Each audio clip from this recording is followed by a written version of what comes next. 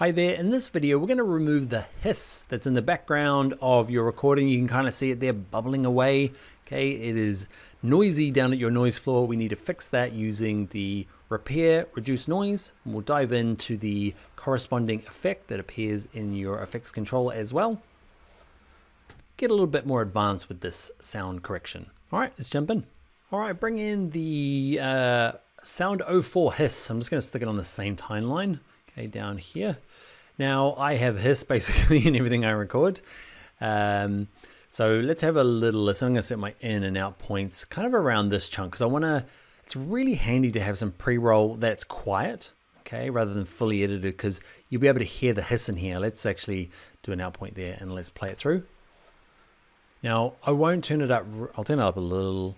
Actually, I won't turn it up in here because you'll have your own speakers. So turn it up, see if you can hear it or actually you've got the exercise file loaded in and check it. Uh, we can see it visually down here together and we'll just use this. There's this noise floor. They call that the floor and there's all this noise around the noise floor. Okay, and it happens mostly when you're recording and you can tidy it up. Okay, and it's often with the dehisser or removing hiss. Okay, so I'm going to expand not only this, because I want to see if I get rid of it here, but I want to see what happens to the voice. Because sometimes you can spend just clearing it out of this empty area only to find you sound like an alien. So now if you're excited, to turn your passion and skill. Now if you're excited, to turn your All right, so what I need to do is make sure that this is selected, it's dialogue, it's auto matched. I've actually already done that pre this course. And under repair, reduce noise and crank it up, see how good it is. Let's have a listen. Now if you're excited, to turn your passion I sound a little bit robotic, but can you see, especially down here in this empty area? Oh, look at it. It's just gone. It's flat. So I've got rid of that noise floor, but we're at maximum. So now if you're excited, to turn your passion in.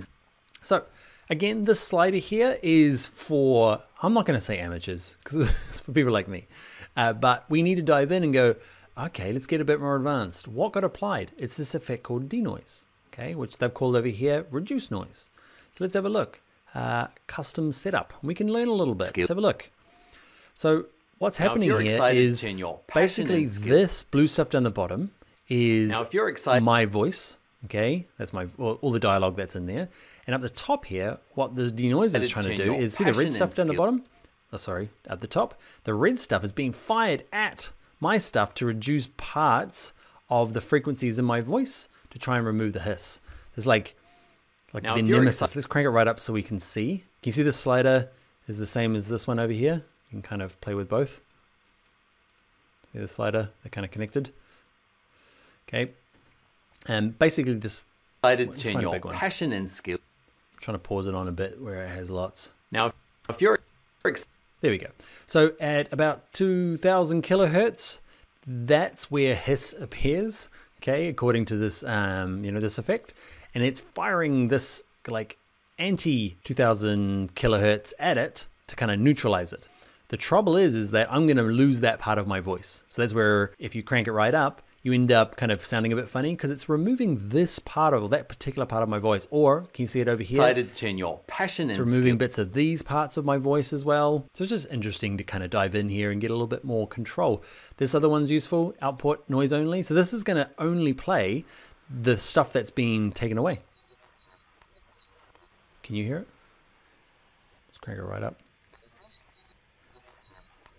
You'll have to do this in your own video, okay, or with your own um, Premiere Pro.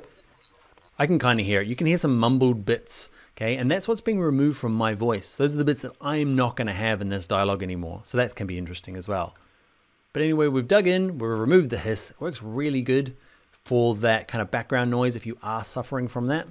Um, a couple of tips for removing hiss. If you if this is not working, like mm, physical removing, the easiest way is to grab background music. you know, there's a lot of background music on my stuff because you you know I'm gonna. Now, if you're excited, Look, the noise floor is all mixed up in the audio, so that's the easy trick.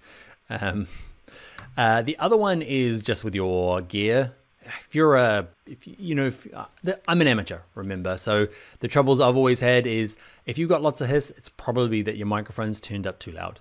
Okay. And if it's turned up too loud, it might be because the microphone's not uh, powerful enough. Okay, and you might need something like a preamp to help the microphone be more powerful. Give it some phantom power. The other thing is change your audio cables, make sure they're okay. I've had a bad audio cable for a long time and didn't realize it. Don't use really, really long cables. I had that as well. Problem with audio when it was just going through a really, really long set of cables. If you're recording straight into a laptop, like a USB mic, like I do for these tutorials, you might find that it actually works a whole lot better when your laptop's not plugged into the wall. There could be a lot of uh, uh, grounding issues and the actual laptop can actually send stuff through, you know, the power cord can send stuff through the microphone. Make sure that your laptop actually has an earth. In New Zealand, for some reason, they give us plugs for our like Macs that don't have an earth prong. It's just like a two pin plug. And yeah, if you buy uh, an adapter to give it a earth plug, the little doohickey for the battery pack for a MacBook Pro, that gets rid of a lot of the microphone problems. Also play with the port that your actual microphone's plugged into. They're not created equal. Some of them allow power, some of them don't. So do move them around to see which one actually gives you no noise. You might find that one plug is better than the other. Anyway, those are my short tips for fixing kind of mechanical issues before you get to Premiere Pro. Once you're in Premiere Pro, drag the noise slider up. And then don't be afraid to dive in to the effects controls to fine tune any of these sliders. So I'm not going to go through every single one now and explain all the effects. it was more of a like a to get you uh, to figure out that this slider is connected to effects and that those effects can be adjusted, which gives you a bit more kind of advanced control. Uh, let's look at the next one. Let's look at dehum in the next video. All right, that is it for this video. If you enjoyed it, make sure that you like the video and subscribe to the channel. If you do want to go further with Premiere Pro, you might want to join me for my larger courses, okay, called Premiere Pro Essentials and Premiere Pro Advanced. There'll be links for both of those in the description. Hope to see you in the course. Bye.